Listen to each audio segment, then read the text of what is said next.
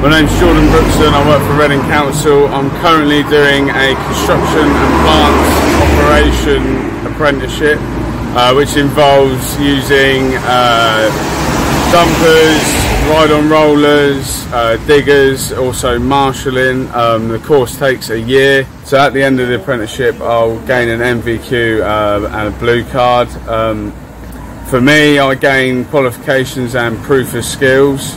Um, also it helps with the safety aspect and also likewise for the council they get a trained um, worker who can do the job safely into a good efficient manner.